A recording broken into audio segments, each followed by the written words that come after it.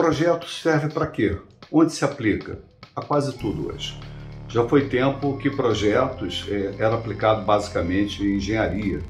Isso foi importante, né? desenvolvemos muitas metodologias, as clássicas vieram muito desse tipo de trabalho, só que hoje a gente aplica projetos em quase tudo.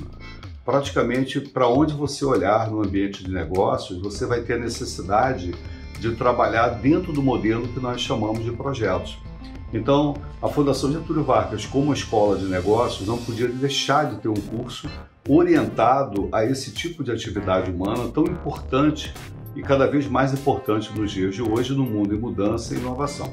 O nosso programa une também, além das práticas específicas, metodologias de projetos, o elemento gestão, né? afinal estamos no MBA.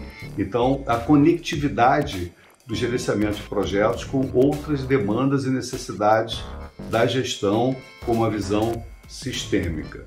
Nosso curso, eu poderia dizer que tem é, alguns benefícios. Três palavras: qualidade.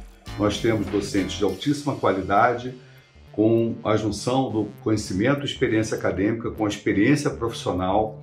Nós temos a questão da capacitação, seria a segunda palavra, com certeza você vai ter o melhor, o mais atual e com um grupo de colegas e professores que vão dar sinergia e tornar isso muito bom e a efetividade que seria o resultado final que nós buscamos com tudo isso. Seja nosso aluno, nossa aluna, seja bem-vindo, bem-vinda, será um prazer para nós.